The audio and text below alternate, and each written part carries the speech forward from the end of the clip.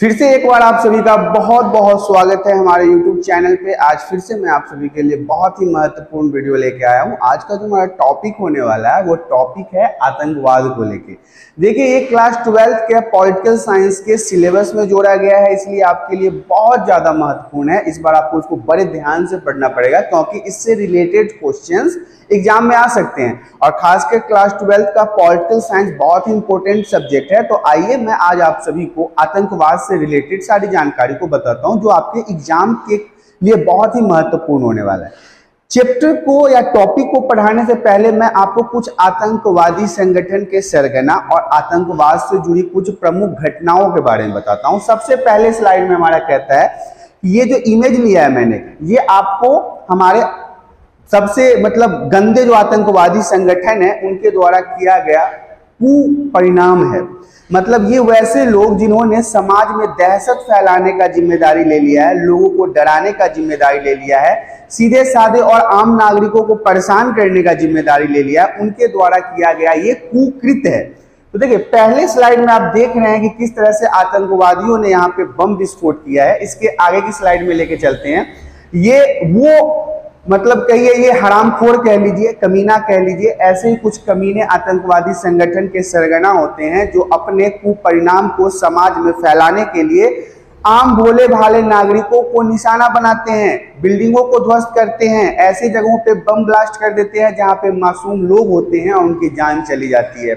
आगे की स्लाइड में देखिए, ये हमारे भारत का सबसे बड़ा ताज होटल है, जिसमें जो मुंबई में है, जहाँ पे ब्लास्ट किया गया था कुछ आतंकवादियों के द्वारा। आपने इसके बारे में अवश्य सुना होगा। आगे की स्लाइड में बढ़ते हैं। ये देखिए, ये भी एक आतंकवादी संगठनों के द्वारा किया गया बम विस्फोट है, जिसमें बिल्डिंग जो है वो आपके सामने धू धू करके जल रही है। और ये मुजफ्फराबाद का है। मुजफ्फराबाद उत्तर प्रदेश में है, आपने सुना होगा। आगे की स्लाइड में दिखाना चाहेंगे, ये भी एक कुत्ता, कमीना, हरामखोर या फिर डैश डैश डैश आपके मन में जो भी है, आप भर सकते हैं। ये उसी लेवल का है, उसी गालियों को सुनने लायक है, क्योंकि इसके द्वारा भी कई प्रकार के आतंकवादी संगठन चलाए जाते हैं, जिससे आम जनता और मासूम लोगों को निशाना बनाया जाता है। आगे की स्लाइड में लेके चलते हैं। ये भी कुछ ऐसे ही आतंकवादी संगठन के सरगना हैं इन दोनों का चेहरा देख लीजिए। ये मैं आपके जानकारी के लिए लाया हूँ कि इनके द्वारा किन किन तरह के कुपरिणामों कुकृत किया जाता है और कैसे ये आतंकवादी गिरोहों को चला रहे हैं। आगे की स्लाइड में अब हम आते हैं पॉइंट पे। आगे का स्लाइड हमारा कहता है आतंकवाद क्या है। इतनी सारी तस्वीरें, इतने सारे फ़ोटोज़ इतने सारे हरामियों का फ़ोटो देखने के बाद सबसे जो महत्वपूर्ण मुद्दा है, वो आता है हमारा आतंकवाद। आतंकवाद क्या है? इसे समझना ज़रूरी है क्योंकि मेन टॉपिक जो है आपके सिलेबस में, वो आतंकवाद ही है। तो आतंकवाद गैर कानूनी कार्य है। इसे कानूनी नहीं कह सकते, इसे कानून द्वारा मान्यता प्राप्त नहीं है। ये गैर कानूनी है। मतलब हमारे कानून के नियमों का उल्लंघन करके धज्जियाँ उड़ा के जो काम किया जाता है, उसे हम गैर कानूनी कहते हैं। तो सबसे पहले लाइन में आपको बताना है कि आतंकवाद एक गैर कानूनी कार्य है, जिसका मकसद आम लोगों के अंदर हिंसा का डर पैदा करना है। एक भोले भाले नागरिक, आम जनता, मासूम लोगों के भीतर डर पैदा करना है। डर समझ रहे हैं ना? जो डर पैदा करना होता है। आतंकवाद एक शब्द मात्र नहीं है। ये एक शब्द नहीं है। इसका यह मानव जाति के लिए दुनिया का सबसे बड़ा खतरा है। इंसानों के लिए, मानव जाति के लिए, इंसानियत के लिए आज दुनिया में सबसे बड़ा खतरा जो है, वो आतंकवाद बनता जा रहा है, जिसे मानव ने खुद निर्मित किया है। और यहाँ पे देखिए, इंसानों के द्वारा ही बनाया गया है। ये किसी भगवान के या प्रकृति के या किसी अन्य लोगों, जानवरों के द्वारा नहीं बनाया गया। ये आतंकवाद जो है, वो खुद मानव द्वारा बनाया गया है। कोई भी एक इंसान या समूह मिलकर, एक इंसान या उसका ग्रुप मिलकर क्या करता है? यदि किसी जगह पर, किसी स्थान पर हिंसा फैलाता है मतलब लड़ाइयाँ, झगड़ा करता है, दंगे करवाता है, फसाद करवाता है, चोरी करवाता है, बलात्कार करवाता है, अपहरण करवाता है लड़ाई झगड़ा करवाता है, बम ब्लास्ट करवाता है तो ये सभी किस कैटेगरी में आएगा? आतंकवाद के कैटेगरी में आएगा। इन सभी चीज़ों को हम क्या कहेंगे? आतंकवाद कहेंगे। भारत में अगर हम आतंकवाद के सिलसिले को देखें तो भारत में नक्सलवादियों द्वारा, नक्सलवादी पश्चिम बंगाल मतलब बंगाल का एक क्षेत्र है, एक जिला है, जहाँ से सबसे पहले शुरू हुआ था, उसे हम नक्सलवादी आंदोलन के नाम से भी जानते हैं, जहाँ से पहली बार आतंकवादियों को देखा गया था। पहली बार आतंकवादियों को देखा गया था। उन्नीस सौ सड़सठ में पहली बार बंगाल के क्षेत्र में कुछ लोग उग्र हो गए। बंगाल का जो क्षेत्र था नक्सलवाड़ी, वहाँ के किसान जो थे, वो उग्र हो गए। मैंने आपको नक्सलवाड़ी और नक्सलाइट के बारे में चैप्टर में डिटेल से पढ़ाया। यदि आपने वीडियोस को नहीं देखा तो ज़रूर देखें। उसमें आपको पूरा डिटेल्स बताया गया है कि कैसे इन लोगों ने उग्रवादी का रूप मतलब कि आतंकवादी का रूप धारण कर लिया।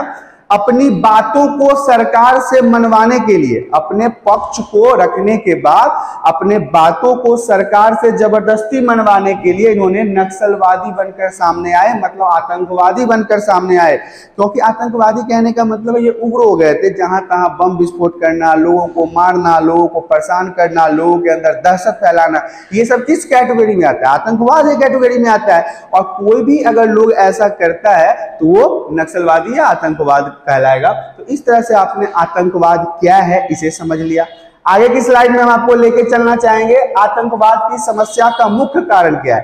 किन कारणों से आज आतंकवाद इतना फैलता जा रहा है या फैल रहा है, इसे भी जानना ज़रूरी है। देखिए, आजकल के समय में बंदूक मशीन गन, टोपे एटम बम हाइड्रोजन बम परमाणु हथियार मिसाइल आदि का अधिक मात्रा में निर्माण हो रहा है। बहुत अधिक मात्रा में इसका निर्माण किया जा रहा है, जो भी आतंकवाद के बढ़ने का एक कारण है, क्योंकि इनके बाद पैसे होते हैं और पैसे से ये क्या करते हैं? इस तरह के मशीनें मतलब बंदूक खरीद लेते हैं टोप खरीद लेते हैं मिसाइल खरीद लेते हैं और आम नागरिकों पर इसका प्रभाव डाल के उसे डराते हैं। आबादी का तेज़ी से बढ़ना, जिस तरह से आज हमारी जनसंख्या बढ़ती जा रही है दिन प्रतिदिन, ये भी एक कारण है जिसके कारण आतंकवाद फैलता जा रहा है और समस्या बनती जा रही है। इसके अलावा राजनीतिक, सामाजिक और अर्थव्यवस्था भी इसका मुख्य कारण है। कुछ व्यक्ति राजनीतिक के कारण भी आतंकवादी बनते हैं, कुछ समाज के निकाले गए व्यक्ति भी यहाँ पे बन जाते हैं आतंकवादी और कुछ लोग गरीबी के कारण भी आतंकवादी समूह को ज्वाइन कर लेते हैं। तो ये राजनीतिक, सामाजिक और अर्थव्यवस्था भी कारण है, इसके महत्वपूर्ण कारणों में आएगा, जिसके कारण लोग आतंकवादी बन जाते हैं। देश की व्यवस्था के प्रति असंतुष्ट होना, हमारे देश के द्वारा जो भी सरकार होती है, जो भी प्रशासन होता है, उसके द्वारा जिस तरह से कार्यों को किया जाता है हमारे देश में, उससे कुछ लोग असंतुष्ट हो जाते हैं, खुश नहीं रहते हैं। उनको नहीं लगता कि देश का प्रशासन सही तरीके से काम कर रहा है, उनके हित में काम कर रहा है। तो इस असंतुष्टि में वो आतंकवाद को अपना लेते हैं। शिक्षा की कमी। बेसिक तो यही है, अगर आप पढ़े लिखे नहीं है, आपके पास ज्ञान नहीं है तो ऐसे में आपको अगला व्यक्ति बहुत जल्दी घुमा सकता है।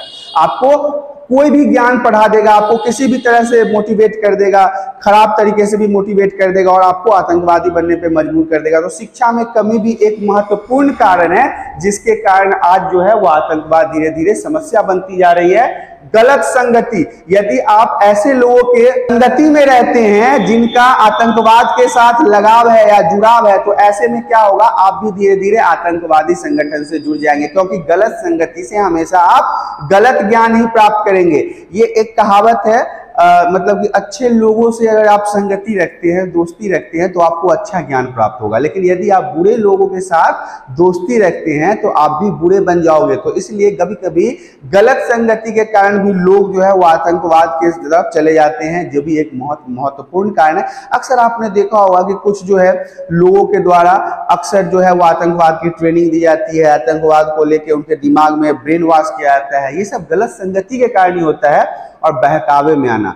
आपके मजबूरी का फ़ायदा उठा के कोई व्यक्ति यदि आपको बहका रहा है तो ये भी एक प्रमुख कारण बन जाता है आतंकवादी बनने का, आतंकवादी से जुड़ने का या फिर आतंकवादियों के प्रति रुझान बनने का। तो ये आतंकवाद की समस्या के कुछ प्रमुख कारण थे। यदि आपसे एग्ज़ाम में पूछा जाता है तो आपको बेधड़क पेपर पे लिखना है, जिससे आपको अच्छे नंबर प्राप्त होंगे।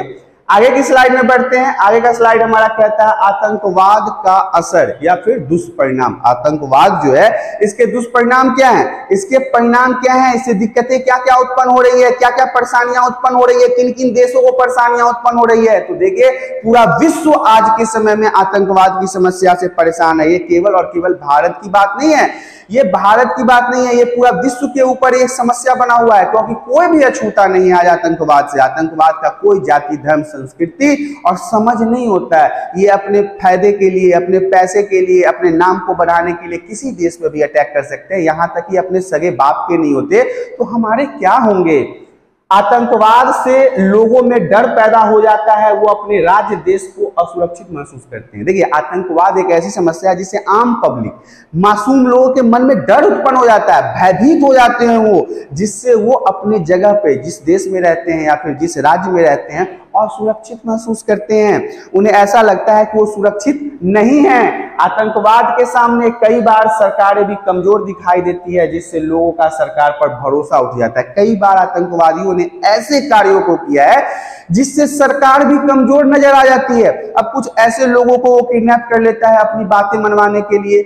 बस हाईजैक कर लिया ट्रेन हाईजैक कर लिया, लोगों को कब्जे में ले लिया, इसके बाद सरकार के ऊपर दबाव डालने लगा तो सरकार आम पब्लिक की जान बचाने के लिए उनके सामने झुक जाती है। अब इससे क्या होता है, आम लोगों को सरकार के ऊपर भरोसा नहीं रहता कि सरकार झुक गया, पुलिस झुक गई, आर्मी झुक गया तो हमारा क्या होगा? तो ऐसे में उनका भरोसा सरकार पर उठ जाता है मतलब कम हो जाता है।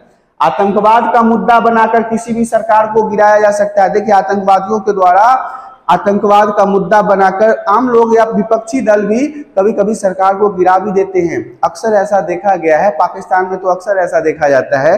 हालाँकि सबका जड़ पाकिस्तानी है, आतंकवादी का जड़ पाकिस्तानी है, लेकिन पाकिस्तान भी अछूता नहीं है। उसके अंदर भी आतंकवादियों ने कई बार स्कूल, मस्जिद वगैरह में घुस के लोगों को मारा है। तो वो कहते हैं ना, जिस थाली में ये खाते हैं, उसी थाली में ये छेद भी करते हैं। इनका कोई धर्म, जाति, मज़हब नहीं है। इनका मज़हब सिर्फ़ और सिर्फ़ लोगों के अंदर दहशत फैलाना है, डर फैलाना है। यही इनका मज़हब है। लोगों को परेशान करना है, मासूमों को मारना है, बलात्कार करना है। यही इनका मज़हब है। आतंकवाद के चलते लाखों की संपत्ति नष्ट हो जाती है, लाखों लोग, मासूमों लोगों की जान चली जाती है। देखिए, जहाँ भी ये बम विस्फोट करते हैं, इसे लाखों और करोड़ों की संपत्ति नष्ट हो जाती है। मैंने आपको आज ताज होटल का वो फ़ोटो दिखाया जिसमें बम विस्फोट हुआ। गोलियाँ चली, आम लोग मारे गए। इससे क्या हुआ? है तो Taj hotel five star hotel है, बहुत महँगा होटल है। ऐसे में वहाँ पे अगर इस तरह से बम विस्फोट हो तो वहाँ पे तो करोड़ों का नुकसान हुआ ना।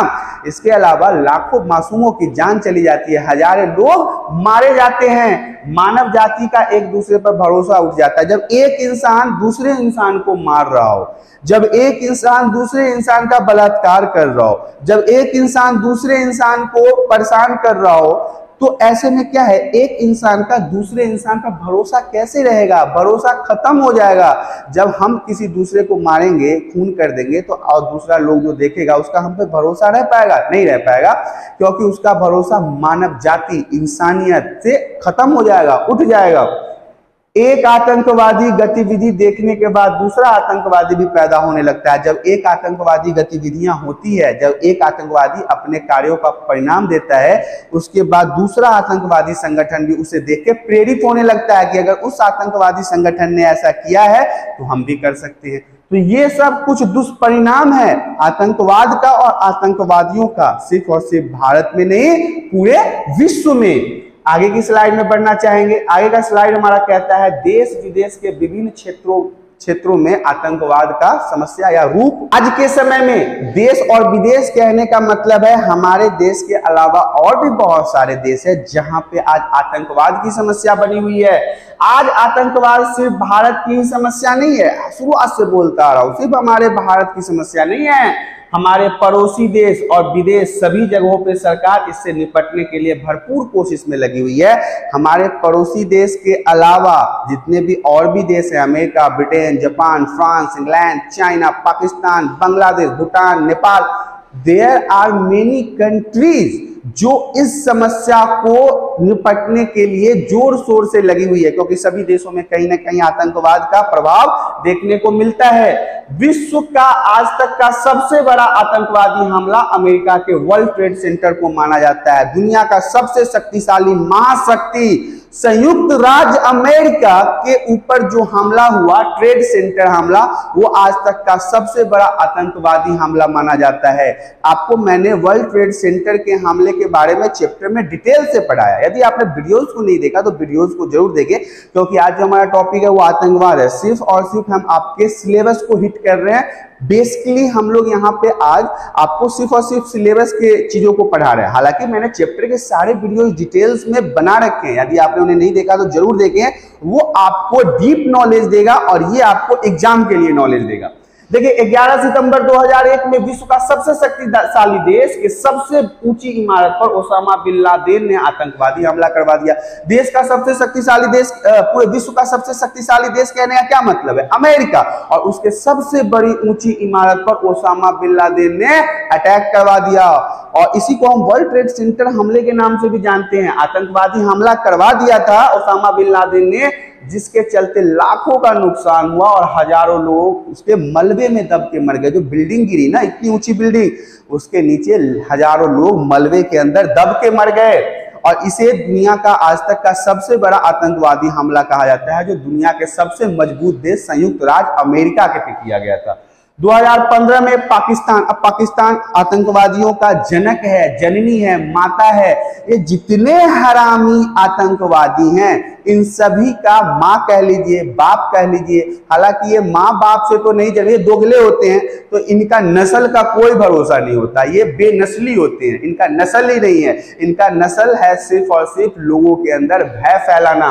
तो देखिए 2015 में पाकिस्तान के कराची के स्कूल में कुछ आतंकवादी घुस गए। इन सालों के तो घर में जो पैदा करते हैं आतंकवादी इनके बच्चों को नहीं छोड़ रहे ये अपने घर में आतंकवाद फैला रहे हैं और उन्होंने अंधाधुन गोलियाँ चलाई। कहा? स्कूल में जाके, जिससे कई बच्चे और टीचर मारे गए। स्कूल में मासूम बच्चों की जान चली गई।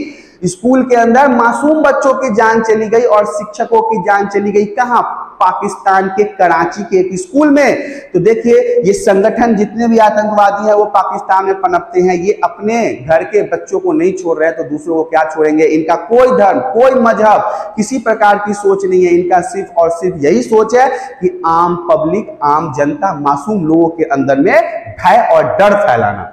पाकिस्तान का आतंकवाद में सबसे बड़ा हाथ है। दुनिया जानता है कि अगर कहीं आतंकवादी पल रहा है तो वो पाकिस्तान पाकिस्तान, पाकिस्तानी एक देश ही नहीं है, वो तो खुद ही एक आतंकवाद संगठन है।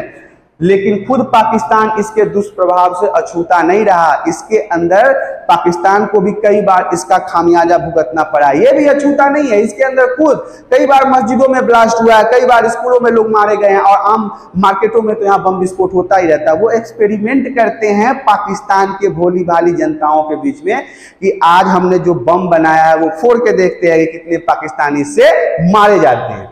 आगे की स्लाइड में लेके चलना चाहेंगे आपको आतंकवाद हादसे में भारत। अब देखिए, भारत के अंदर भी बहुत सारे आतंकवादी हमले हुए हैं, खासकर इसमें सबसे ज़्यादा हाथ पाकिस्तान का है। सबसे ज़्यादा क्या? 100 परसेंट हाथ पाकिस्तान का ही होता है। देखिए 2001 में देश का सबसे सुरक्षित इमारत, हमारे भारत देश की बात कर रहे हैं, ध्यान समझिएगा 2001 में भारत का सबसे सुरक्षित इमारत, संसद भवन में दिन दहाड़े आतंकवादी घुस गए। हमारे भारत के संसद भवन में आतंकवादी घुस गए। पुलिस एवं सुरक्षा कर्मी के साथ लंबी मुठभेड़ के बाद आतंकवादियों को मार गिराया गया। जब वो संसद भवन में घुस गए तो हमारे पुलिस और सुरक्षा कर्मियों के द्वारा लंबा मुठभेड़ चला मतलब लंबा फायरिंग चला, लेकिन इसके बाद वो आतंकवादियों को मार गिराया गया। इस दौरान पूरी संसद में दहशत का माहौल था। चारों तरफ़ अफरा तफरी मच गई। स्वाभाविक सी बात है, कहीं पे आतंक आतंकवादी घुस जाए, गोली बम बारूद चलाना शुरू कर दे तो ऐसे में तो अफरा तफरी का माहौल होगा ना कि हम खड़े होकर देखते रहेंगे कि नहीं भैया, चलाओ गोली, हम देखते हैं। जान का डर सबको होता है, भय सबको होता है, और यही तो आतंकवाद है। यही तो आतंकवादी चाहते हैं कि आम पब्लिक लोगों के बीच में यह डर फैलता रहे। 2006 में क्या हुआ? मुंबई के लोकल ट्रेन को निशाना बनाया गया। मुंबई के लोकल ट्रेन जो लोकल वहाँ पे आपको पता है ना, मुंबई का लोकल ट्रेन कैसा होता है? बहुत भीड़ होती है। ठसम ठस भीड़ होती है। उसमें ब्लास्ट किया गया। 11 मिनट के अंतराल में 11 मिनट के अंदर सात बार ब्लास्ट हो गया, जिसमें कई बच्चे, बूढ़े महिला और नौजवान मारे गए। मेरे को एक बात आज तक समझ में नहीं आई। अरे हराम को अरे दोगले आतंकवादी, तुम्हें इन बच्चे, बूढ़े, मासूम लोग। मतलब जिनका कोई दोष नहीं है, उनको मार के क्या फ़ायदा मिलता है? अबे तू माई का दूध पिया है, अगर सही में तू अगर मर्द है, मर्द तो तू होगा ही नहीं, तू तो छक्का है, दोगला है तू तो तू जाके हमारे आर्मी से भिड़ ना। तेरे पिछवाड़े में ना डंडा कर दिया, उसने तो फिर नाम बदल दिया। तू भोले वाले नागरिक के सामने आके क्यों अपना शक्ति बघाड़ रहा है? निहत्थे के सामने, बच्चों, बच्चे के बच्चों को मार रहा है, बच्चे ने तेरा क्या बिगाड़ा? वो छोटे छोटे मासूम बच्चे, वो ट्रेन से ऑफ़िस जाने वाले लोग जिन्हें कुछ पता नहीं है, जो ये सोच के निकले कि समय पर ऑफ़िस पहुँचना है, मुझे शाम को वापस आना है, जिसका बीबी बच्चा, माँ उसके घर पे इंतज़ार कर रहा है, उसे तुम सात विस्फोट करके 11 मिनट के अंदर मार दिया, उसके फैमिली पे क्या बीता होगा, ये समझ नहीं है तुम्हें। अगर वाकई में तुम मर्द है, वाकई में तुम शक्तिशाली है, वाकई में तुम्हें युद्ध करने का शौक है एक बार बॉर्डर पे आ जा बॉर्डर पे तेरा ये समस्या जो है, वहीं पे हमारा इंडियन आर्मी समाधान कर देगा और ज़्यादा समय भी नहीं लगाएगा। हालाँकि कई बार तो तुम लोग मुँह की खा चुके हो, लेकिन थेथर और थुथरेस्ट में अंतर होता है। तुम लोग महा थुथरेस्ट हो, तुम्हें कितना बार भी लात मारा जाएगा, तुम्हारे समझ में ये बातें नहीं आएगी। देखिए, अब इसमें मुंबई में जो बम ब्लास्ट हुआ, लोकल ट्रेन में से बहुत सारे लोग मारे गए, बहुत ही निर्मम तरह से इन्हें मारा गया, जो अब आपको पता है कि कितने भीड़ होती है लोकल ट्रेन में, और ऐसे में अचानक से ब्लास्ट पे ब्लास्ट होना शुरू हो जाए, बहुत सारे लोगों ने ट्रेन से कूदना शुरू कर दिया, बहुत सारे आग में फंस गए, बहुत सारे ट्रेन में कट गए बहुत ही निर्मम दृश्य था वो। 2008 में मुंबई के होटल ताज एवं ओबराय में आतंकवादी घुस गए और कई दिनों तक यहाँ पर लोगों को बंदी बना कर रखा। मैंने आपको एक फ़ोटो दिखाया था शुरुआत में, ताज होटल के बारे में।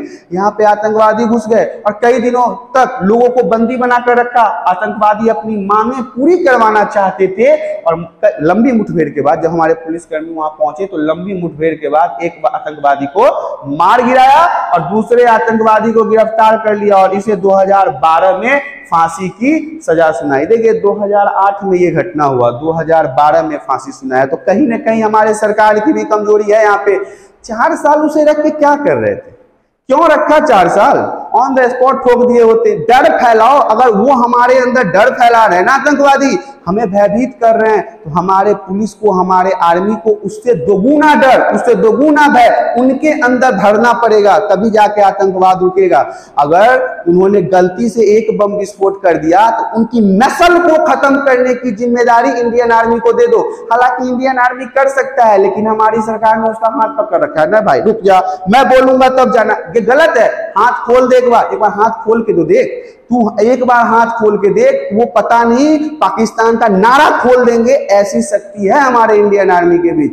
लेकिन कहीं ना कहीं हमारे इंडियन आर्मी की भी मजबूरी है कि वो सरकार के दबाव में है, सरकार के नियमों के खिलाफ नहीं जा सकते हैं। एक बार अगर उन्हें नियम से तोड़ के मुक्त कर दिया जाए तो शायद हमारे देश में लंबे समय तक आतंकवाद नहीं रहेगा, क्योंकि अगर वो आतंकवादी होकर डर फैला सकते हैं तो हमारे इंडियन आर्मी उनके अंदर कितना भय फैला देगी? ये बात आप शायद अगर भारतीय हैं तो समझ सकते हैं। और ये एक सच्चा भारतीय बहुत अच्छी तरीके से समझ सकता है। आगे की स्लाइड में हम आपको लेके चलना चाहते हैं। कश्मीर को लेकर भारत पाकिस्तान की लड़ाई अब बहुत बड़ा रूप ले चुकी है। ये कश्मीर का मुद्दा हमारे और पाकिस्तान के बीच में अब एक बड़ा जंग बना चुका है।